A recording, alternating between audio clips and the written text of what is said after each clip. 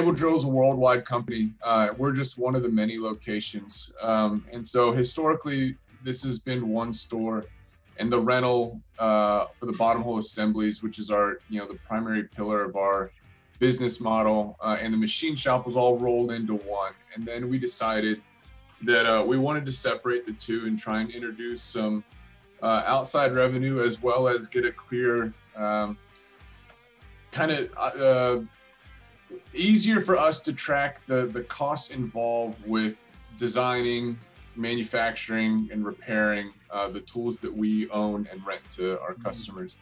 Uh, and so that's when we started um, Store 25. It's called Houston R&M, uh, which which I head up. Um, and then with with that, we also introduced stub welding, which is unique to um, definitely unique to our company, and it, it, it's it's pretty unique to the industry uh, altogether. To say that uh, the these two Weilers have been integral to that effort, um, in so much that our, our effort to stub weld uh, wouldn't be as successful as it is with, without the capabilities of the Weiler. So I, I see those those tied at the hip essentially. Mm-hmm. Uh, you know, we didn't have a Weiler when we first started. We, we had we've got a couple of Mazak Powermasters, and they're good machines but they just didn't have the deep bore capability that we were really looking for. We were having to send tools off to uh, third parties, um, and that was eating up revenue and eating up time, right? And uh, in this industry, at least the way things are going right now, time is absolutely everything. What year or how long ago did that sort of evolution take place? You know, we got along for a year or two without the Weiler, and and you know, we were having success, right? It's so much success that you know we were able to invest in some better machinery but you know from from the get-go it was it was pretty obvious that we were handcuffing ourselves um, by not having optimal machinery explain to me stub welding and what it is that's unique in the process sure so um, you know these bottom hole assemblies um, they're they're they're non-mag tools anywhere from five inch to 10 inch od and the ID is an inch or two. So we're talking three, four, five inch wall thickness mm. on these tubes, essentially. And you know, the connections get recut and they the tools get shorter and shorter over time. And eventually they become too short to where you can't insert the tooling that you need, the measurement devices that you need to into the bore of these tools and send them down hole your only option is to scrap them and get new ones made or send them to me and I'll chop them and weld new material on to bring them back to their original print length. Mm.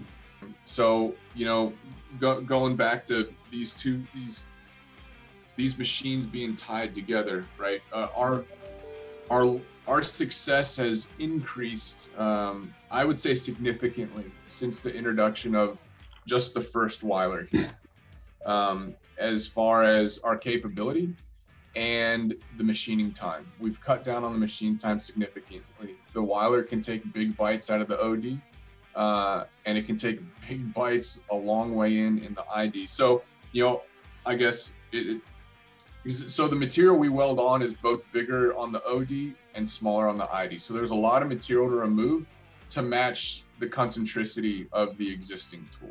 Yeah. And right. um, what what materials are you most often cutting? These are all stainless steels. Um, a 110 and 140 KSI austenitic stainless steels.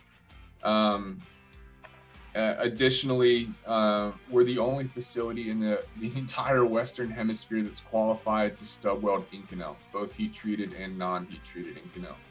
Um, so sort of rewinding back to how you first came upon Weiler, I mean, was it something that you knew was out there? You just you had to go to your higher ups and make the case, or were you just were you in search of something that was alternative to some other product line you were using? Well, you know, I had I had heard that Weilers existed and that they were fairly uh, common in the oil field. Um, but I, you know, I wasn't very familiar with why exactly. As an oil field company that's been around since the 80s, we have a fair number of old manual lathes, Lehman's, World War II era era Lehman's that are phenomenal machines. Um, you know, we refurbished them some number of years ago, and you know they hold a taper perfectly. They're they're great machines, uh, and and to that point, we have a lot of manual machinists, very accomplished, very very good manual machinists. Uh, it was easier for the machinist, I would say, to bring them from a manual to a Weiler than it was from a manual to like a, a Mazak with Mazatrol or or something like that because the the controls you know on a on a Mazak I mean that's you're learning a whole new language at that point Yeah. Uh, it's it's very difficult uh, to go from this to there uh, in any sort of kind of acceptable time frame to train somebody. It might take six months but that's six months I got to pay somebody to not make any production work right? Right. um, but you know from going from a manual to a Weiler the, it, it dropped down to a month. Have you seen how have you seen your customer um I guess feedback or just sort of how are you seeing the have you seen any sort of response from your customers as you made this evolution to Weiler in terms of quality, longevity, things like that? So I would say probably the, the largest selling point to our customers because our, our customers are, are drillers, man. They're not Yep. machinists, right? So, you know, when I tell them I've got two Weilers in here, that doesn't mean anything Sure. to them.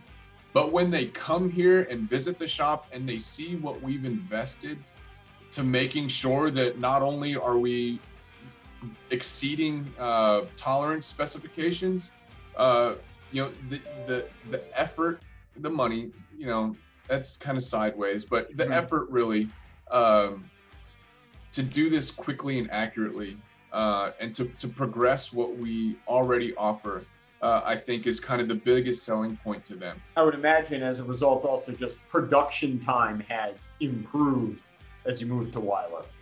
Correct. And, you know, the size of the machine, the, the through bore, the 14 and a quarter, we've got stabilizers that are 12, 13, 14 inches. I don't have to steady rest those anymore.